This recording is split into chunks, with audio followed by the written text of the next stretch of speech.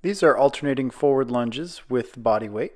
And for these, we're going to take a exaggerated step forward to the point where our knee is out over the mid part of our foot and we're making nice 90 degree knee bends in both our front leg and our back leg.